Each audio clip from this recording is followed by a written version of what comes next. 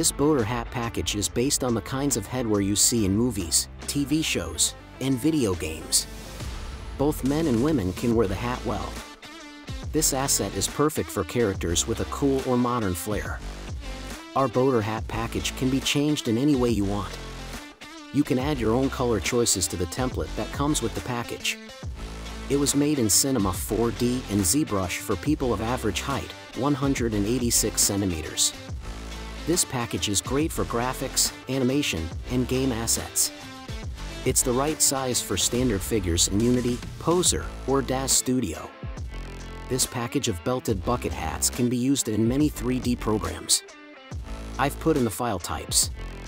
3D Coat, 3ds, Blend, C4D, DFX, FBX, Max, Maya, OBJ, Medium, High, STL, ZTL. There are two OBJ files and two textures in the package. You can choose between high and medium polygon counts for the mesh to meet your needs. Both Blender and Cinema 4D have versions that let you smooth out the mesh.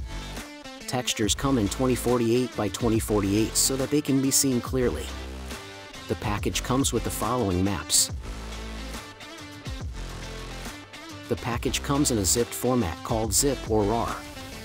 This needs a program that can unzip files, which most computers already have.